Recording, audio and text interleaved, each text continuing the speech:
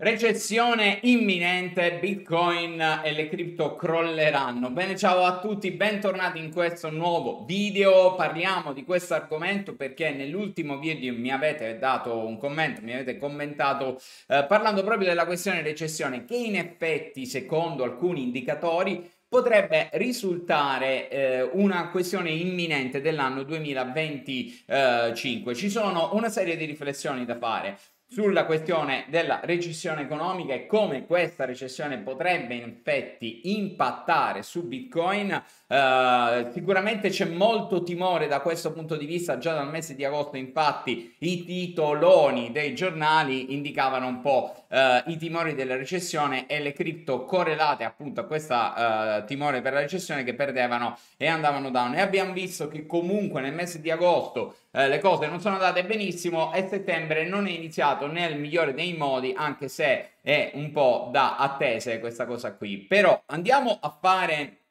un'analisi deep approfondita su questa tematica. Quindi andiamo a guardare quelli che sono i grafici e i dati importanti per un'indicazione relativa alla recessione. Facciamo un po' di story, eh, quindi quello che è successo negli anni passati nel mondo economico. Eh, lo raffrontiamo con Bitcoin per cercare di rispondere a questa domanda. Bitcoin può essere in effetti influenzato dalla questione inflazione, recessione economica? Sì e no. In che misura? Cerchiamo di ragionare e tirare tirar su quelle che sono delle conclusioni il più possibile oggettive. Bene, ciao a tutti, bentornati in questo nuovo video ragazzi, è un video molto strafigo e ci ho messo un po' di ore eh, per fare questa cosa qui. Eh, quindi mi raccomando lasciatemi i pollicioni ovviamente perché eh, voglio sapere anche se apprezzate questo tipo di contenuti sempre trasversali un po' meno tecnici da un punto di vista di trading un po' più eh, importanti da un punto di vista macroeconomico. Quindi su quei pollici e fatemi vedere se vi piacciono questi contenuti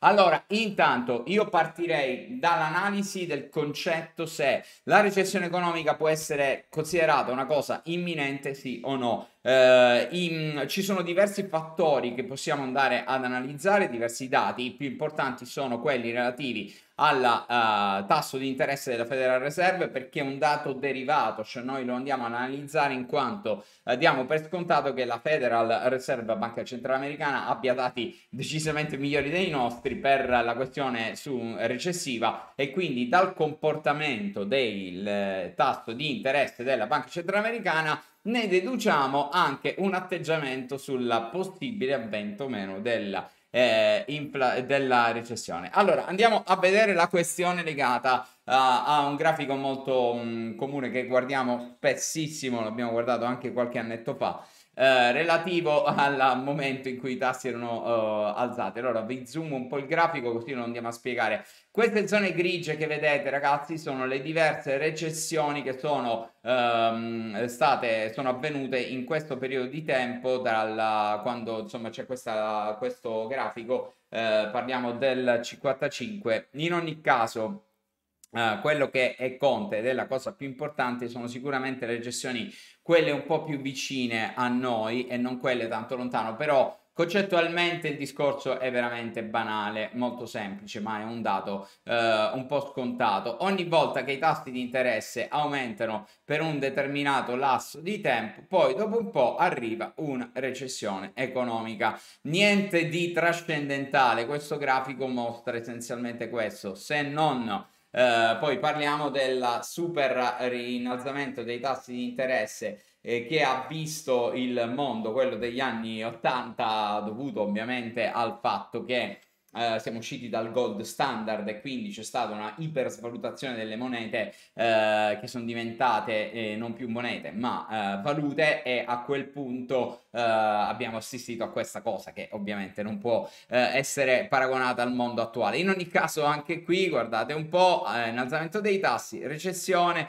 innalzamento dei tassi, recessione, innalzamento dei tassi, recessione, stessa cosa, stessa cosa, bla bla bla. Non è mai stato diverso, ma va. Uh, questo perché, ragazzi? Perché eh, l'innalzamento dei tassi, questo è un po' il giochino, prima l'uovo, poi la gallina, eh, l'innalzamento dei tassi porta sostanzialmente ad una recessione economica. Vengono alzati apposta, cioè proprio per creare una recessione economica. Quindi qui è una questione matematica. Il problema infatti non è se questa recessione avverrà, ma è in che misura una recessione economica può eh, impattare sull'economia reale e in termini eh, di crescita anche dei mercati finanziari. È eh, quello l'importante, non è tanto il concetto se arriva o meno una recessione. Dopo un rialzo dei tassi di solito arriva una recessione anche perché eh, le banche centrali tentano quella strada proprio per fare in modo che eh, i prezzi eh, si calmino. Quindi nel momento in cui io devo calmare i prezzi e l'inflazione, devo creare una recessione economica.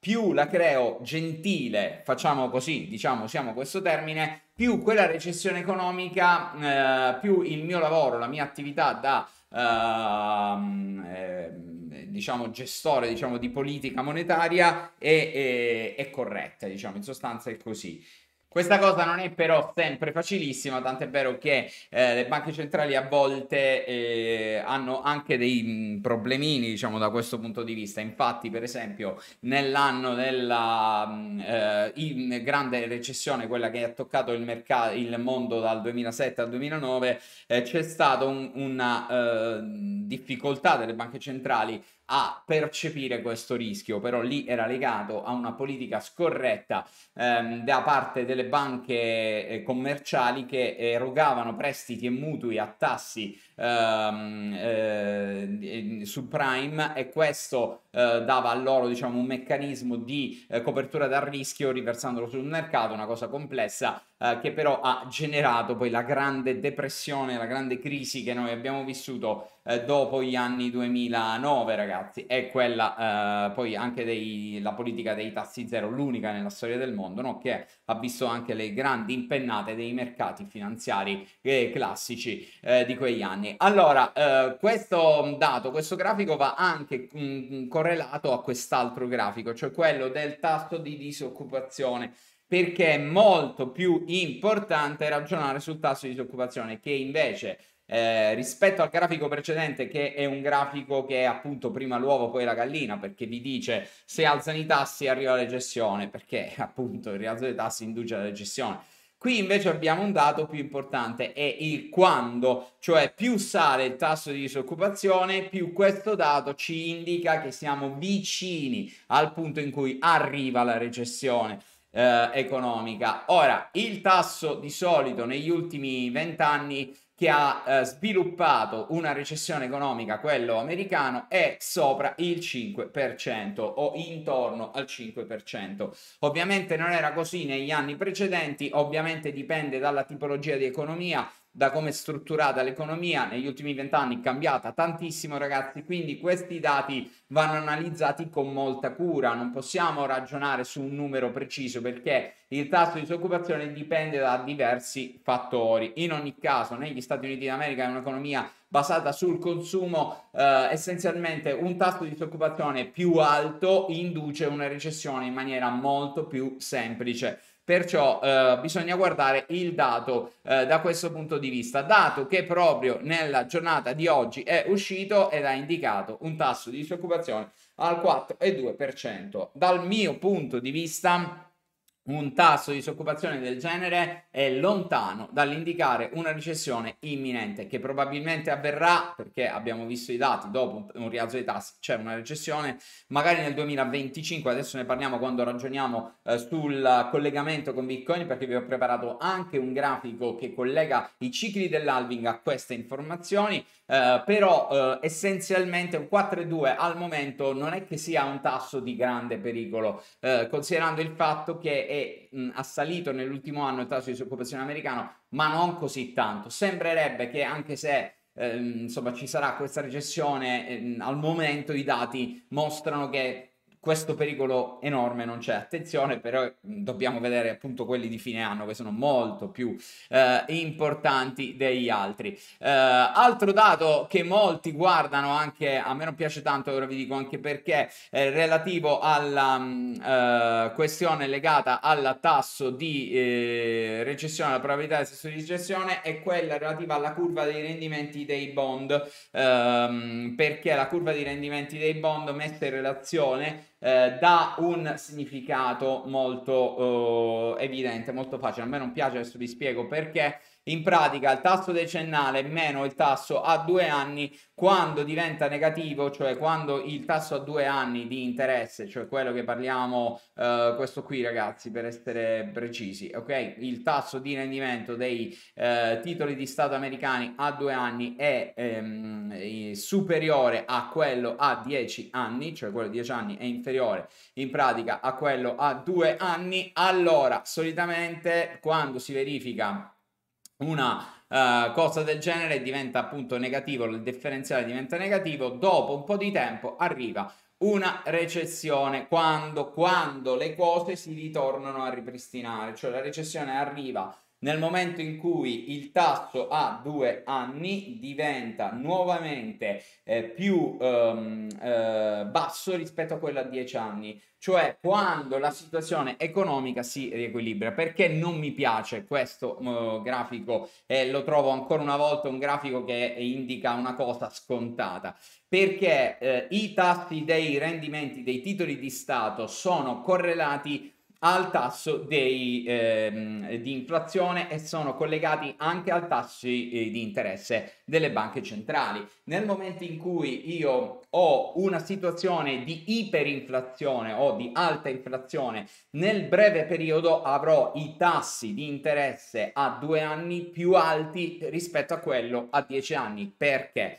Perché è scontato che il tasso a due anni, eh, essendo che ha una scadenza breve, deve riflettere di più il livello di inflazione, mentre quello decennale, essendo che ha una scadenza lunga, dovrà riflettere il tasso di inflazione sì, però spalmato in 10 anni, che sarà notevolmente più basso rispetto a quello immediato. Pensate un po' a quello che abbiamo avuto post pandemia, tasso di inflazione schizzato alle stelle, durato due anni, ovviamente negli anni successivi eh, le banche centrali si muovono per abbassarlo e quindi è scontato che sarà più basso nell'ordine di grandezza decennale. Perciò, ancora una volta, questo è un dato un po' No, eh, così, cioè come guardare una cosa già scritta, cioè in sostanza nel momento in cui io vado a vedere eh, la curva eh, che si inverte e che quindi io ho una differenziale sotto zero, in pratica mi stanno dicendo, questo grafico mi dice che abbiamo un'inflazione molto alta e che le banche centrali inizieranno a brevissimo a controbattere alzando i tassi di interesse. Poi cosa succede? Quando questo grafico si riporta sopra lo zero vuol dire che i tassi di interesse sono andati, sono diventati ehm, abbastanza alti e eh, a quel punto abbiamo la possibilità di vedere nel breve un ribasso dei tassi perché l'inflazione è stata controllata. Quando abbiamo nel breve la possibilità di vedere un ribasso dei tassi di interesse, allora ritorniamo sopra lo zero perché i tassi a due anni, i rendimenti a due anni torneranno ad essere inferiori a quelli a 10 anni. E in questo modo in pratica eh, questo grafico ci indica l'acqua della pasta e scopre l'acqua della pasta sostanzialmente no? Cioè scopre eh, niente cioè quello che abbiamo visto cioè un dato importante. I tassi di interesse nell'immediato sono previsti in ribasso. Quelli però a 10 anni si mantengono ancora alti, eh, ragion per cui ehm, non, no, noi non abbiamo una visione in questo momento di ehm, pericolo grave e, e di ribasso dei tassi nei prossimi anni. Ciò significa che non dovrebbe arrivare una recessione importante. Eh, questo avviene per un tot di tempo. Poi quando vedete avviene una discrepanza e c'è il pericolo, arriva la recessione, si inverte di nuovo questa curva e bam bam bam. Cioè in sostanza il concetto è sempre lo stesso, ragazzi. Quello che conta sono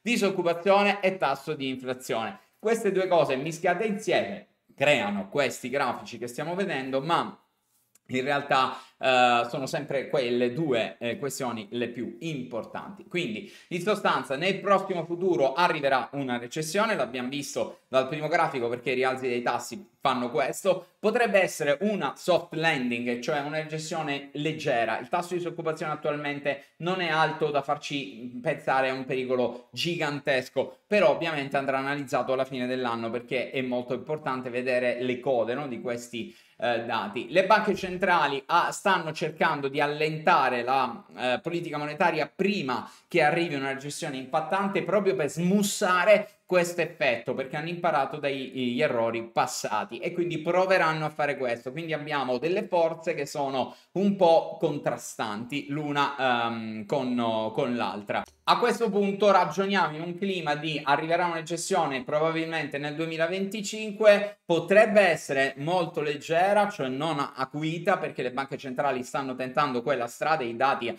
al momento danno ragione alle banche centrali, come si comporterà Bitcoin in un concetto uh, di mondo uh, recessivo oppure appiattito, che secondo me è la soluzione migliore, quella che interessa di più, no? L'appiattimento, cioè non creare tanti scossoni. Allora andiamo a vedere una, di nuovo questo grafico perché Nell'ultima grande recessione, non quella della pandemia, che secondo me non è da valutare come recessione indotta dai tassi di interesse, bensì da un evento esogeno, eh, tant'è vero che i tassi avevano iniziato a salire, probabilmente saremmo stati in una situazione del genere eh, già prima dell'effetto eh, pandemico, poi abbiamo dovuto ripristinare un tasso di interesse basso proprio perché è arrivata la pandemia e poi si è creata una doppia risalita, però in sostanza questo evento recessivo per me non esiste in termini macroeconomici perché non ha una valenza mh, di serie storiche di dato legato a, a un, un, ciclo economico, bensì è una cosa legata a un evento esterno. Questo invece è un dato importante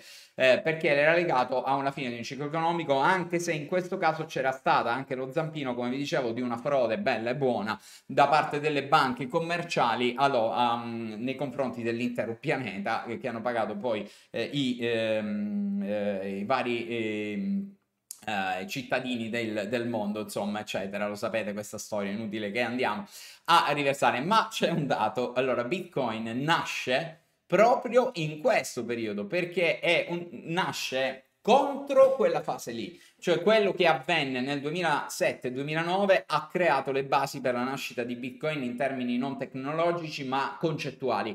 Cioè in termini concettuali Bitcoin nasce per preservare un valore e, ehm, il proprio valore, la propria ricchezza, eh, proprio mentre le banche stavano facendo degli imbrogli colossali e stavano frodando l'intero pianeta, eh, a quel punto eh, di reazione è nato Bitcoin proprio per eliminare quel sistema sistema. Uh, noi non abbiamo mai visto Bitcoin uh, in una fase recessiva perché nelle fasi recessive tra il 2007 e il 2009 Bitcoin uh, lo stavano creando, Satoshi stava creando il protocollo Bitcoin e, e, e, la blockchain. Quindi non abbiamo visto l'atteggiamento di Bitcoin asset finanziario ehm, nel momento in cui eh, è avvenuta una iperrecessione. L'abbiamo un po' notato nell'ambito della pandemia, che però è esogeno, un evento esogeno. Abbiamo, magari analizziamo anche questo, però abbiamo anche visto che sostanzialmente mh, mm, non è che sia cambiato o sia stato negativo, anzi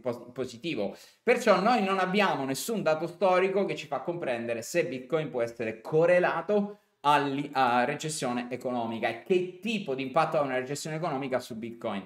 Un altro dato importante, ehm, Bitcoin è essenzialmente eh, correlato invece alla liquidità presente nei mercati finanziari ed è correlato anche agli indici eh, di borsa e all'andamento soprattutto del Nasdaq, dell'indice tecnologico in un certo qual modo ma non del tutto. Tanto è vero che se andiamo a vedere quello che è mh, eh, una, la tabella legata alla correlazione, qui purtroppo mi dà solo a 30 giorni perché il mio tool, quello che usavo, non mi dà più il dato di correlazione con SP500. Qui abbiamo uno un po' più lunghetto con un rolling da 90 giorni perché 30 giorni è un dato farlocco, è troppo breve ragazzi perché e dipende da questioni di breve periodo. Già 90 giorni è adeguato, l'indice di correlazione è in pratica zero, però, però, però, però nel 2022, e ve lo ricordate, abbiamo avuto un indice di correlazione molto alto e anche nel 2020, intorno mm, qui al 0,607, qui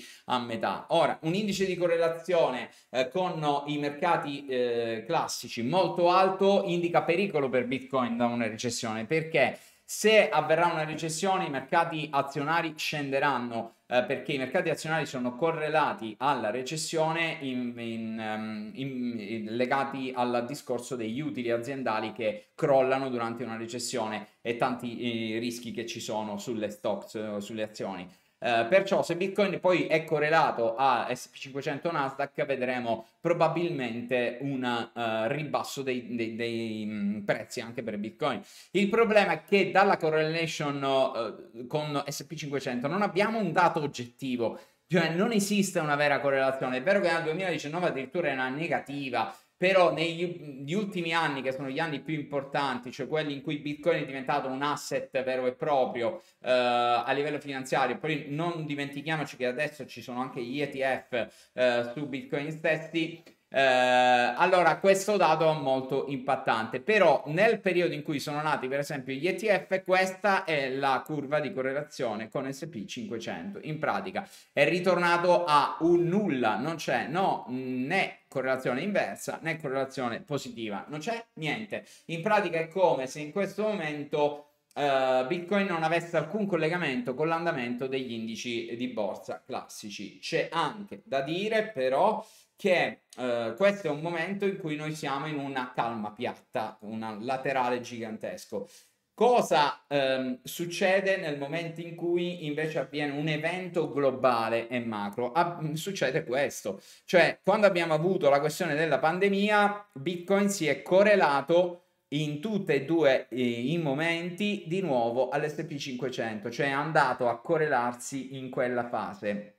Qui era una questione legata alla liquidità. Eh, più che alla questione dei ribassi perché è vero Bitcoin è crollato per una, un effetto riflessivo di rischio che c'era però è anche vero che si è correlato agli indici di borsa per via del fatto che gli indici salivano perché c'erano immissioni di liquidità Bitcoin saliva perché c'erano immissioni di liquidità con tassi zero e tutto quello che la Fed aveva eh, creato. Da questo punto di vista, quindi potremmo dire che Bitcoin è correlato alle emissioni di liquidità, non tanto agli indici di borsa, almeno questo dato lo otteniamo. Perciò, eh, tirando un po' le somme di questo ragionamento, che lo so ragazzi è complesso, fate attenzione, noi abbiamo mh, dei dati che sono molto chiari. Ora vediamo anche la ciclica dell'halving. Primo, Bitcoin non ha mai vissuto una recessione economica, nasce proprio contro un, l'ultimo periodo che il mondo ha avuto una recessione importante, 2007-2009.